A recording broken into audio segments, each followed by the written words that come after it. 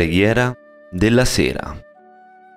Ti ringraziamo Signore perché anche quest'oggi non hai mancato di concedere alla nostra vita la testimonianza visibile della tua misericordia eterna. Donaci una notte serena e un riposo tranquillo. Amen.